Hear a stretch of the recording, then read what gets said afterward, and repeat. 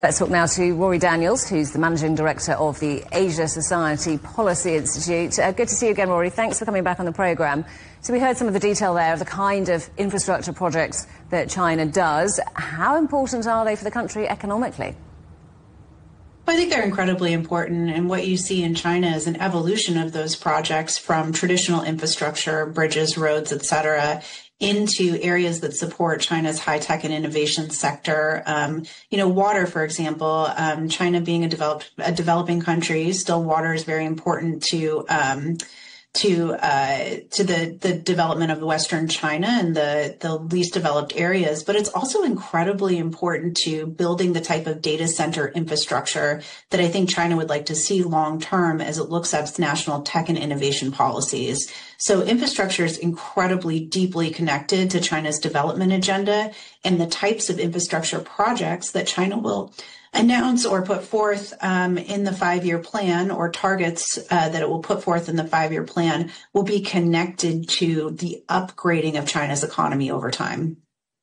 And uh, the data center infrastructure there, uh, do you think we're witnessing a shift away from traditional hard infrastructure, hard infrastructure, if you like, like roads, railways, bridges, the kind of thing China builds so efficiently towards perhaps new infrastructure like those data center networks, uh, green energy, uh, smart cities, for example?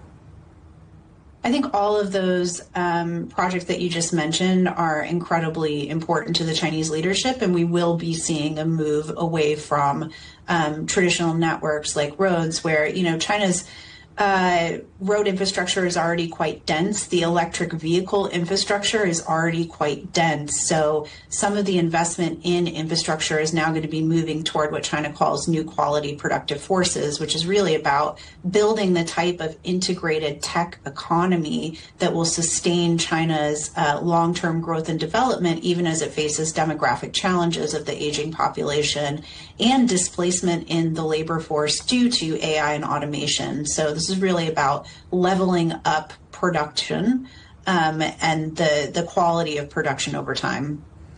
So, what key policies and announcements uh, will you be looking out for when the details of this five year plan are released?